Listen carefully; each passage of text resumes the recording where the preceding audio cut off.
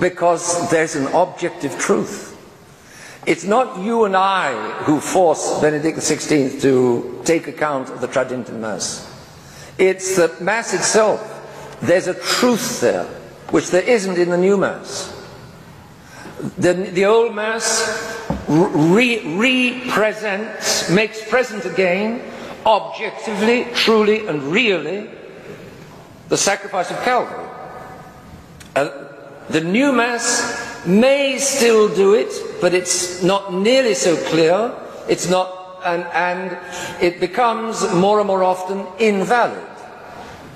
The new Mass is, uh, it, it's, it's a slide. It's a slide away from the truth. You step onto it, you may step onto it high up, but you're very likely to slide. It's a built in downward slide towards loss of the faith closing of the churches, closing of the seminaries, you name it.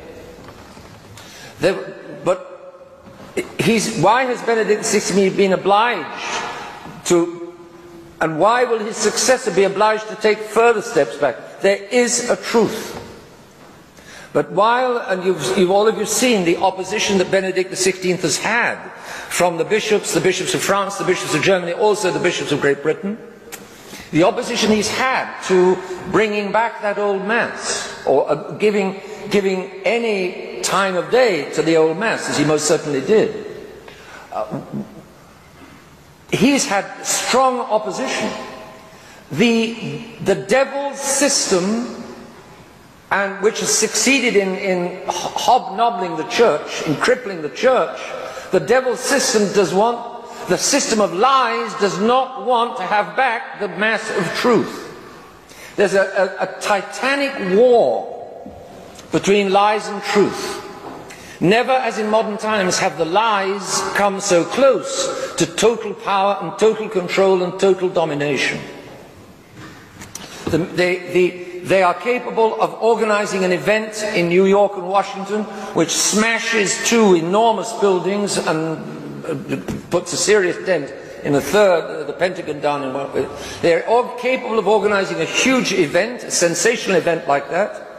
They are capable of, of spinning, spinning the event in the media, of covering up the truth, of covering up the conspiracy, and putting out the official lie in such a way that practically everybody, not everybody, but practically everybody all over the world believes we are liable to be the victims of dangerous and terrible terrorists.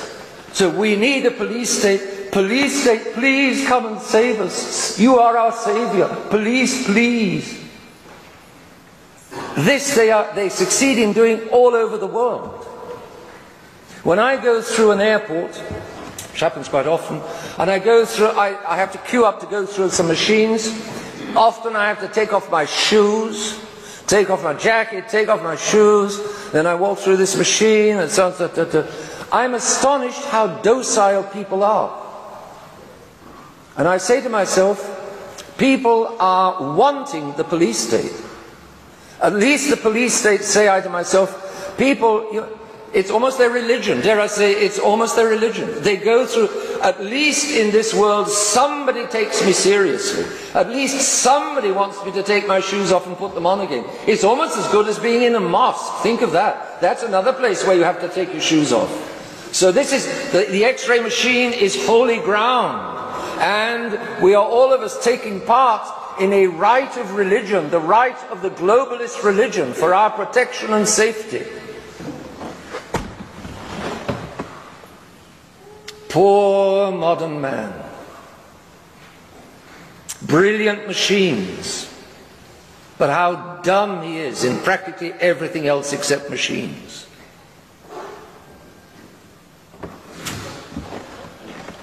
Well, the Pharisees came to Jesus and one of the doctor of the law asked him, tempting him, Master, which is the great commandment of the law? Jesus said to him, Thou shalt love the Lord thy God with thy whole heart and with thy whole soul and with thy whole mind. This is the greatest and first commandment. This is number, one. here is number one. God. The true God. And He is real. He is the foundation of truth. I am the way, the truth, and the life. Truth with God is not the correspondence of the mind to the thing.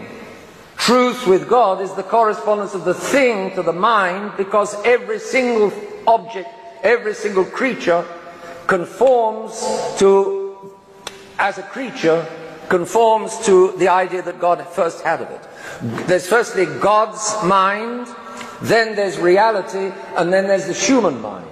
And the human mind is true if it recognizes the reality. God's mind is true because it creates the reality.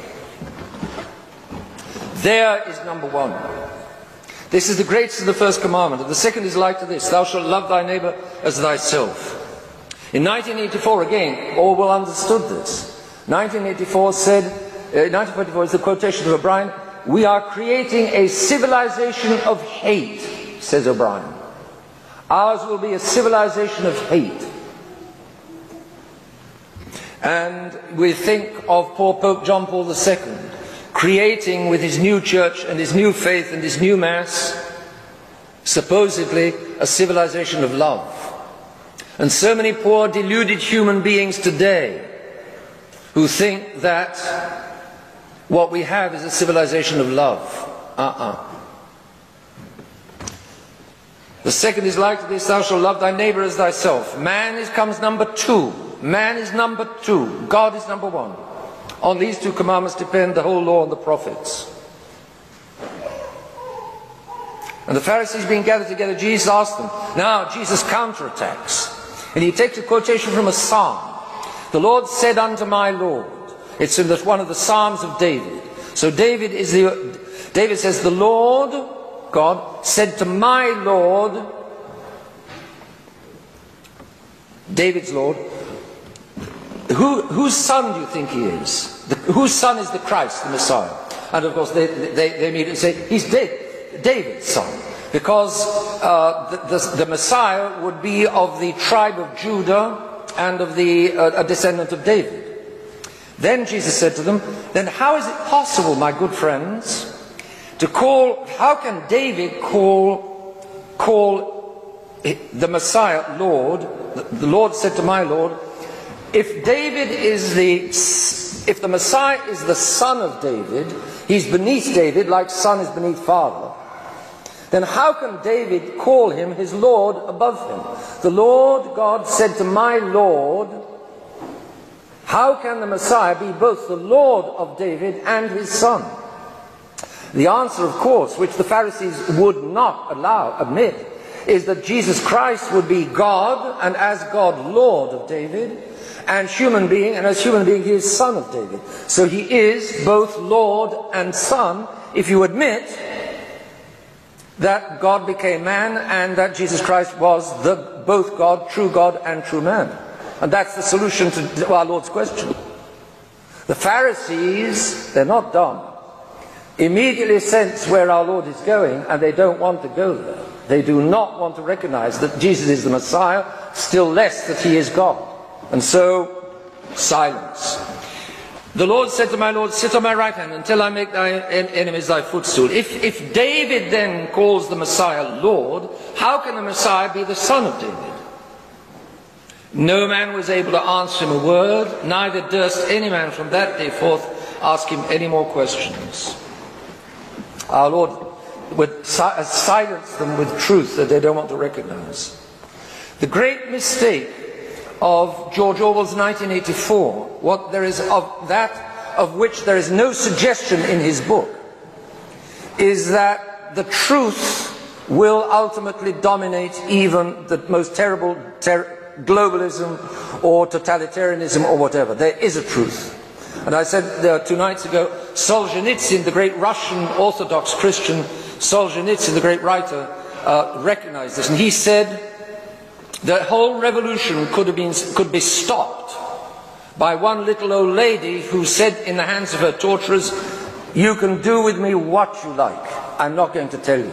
She had harbored a, an Orthodox priest, and she wasn't going to, they wanted to know where he was or where he'd been, and she wasn't going to tell them. And she said to them, You can do what you like to me. But, and why, how did she manage, how could she?